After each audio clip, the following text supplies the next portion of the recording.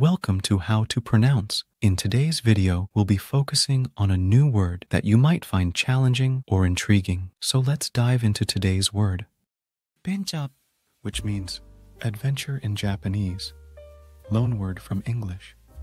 Let's say it all together. ベンチャー, One more time. 벤잡,